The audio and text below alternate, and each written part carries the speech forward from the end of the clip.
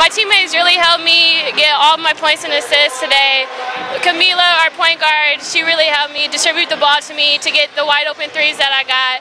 And I'm really proud of my team for the effort that we did on the offensive end and defensive end to do everything and get this win today. I think I played good. I took the shots that they gave me for the most part.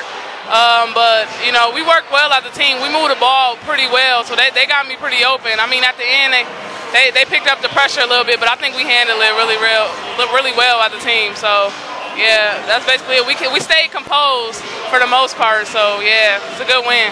I was just happy that I could help my team out, get the rebounds and everything. We got second chance shots, and that's what coach really wanted us to do, and that's what we did. We all came out, played aggressive, and we got we got the win tonight. We played together as a team, and that's how we end up with the win. Team today uh, came uh, off of a uh, tough road. A uh, couple road games uh, out in Iowa to play here at Wayne County today. Uh, shot unbelievably from the from three, 66% in the first half.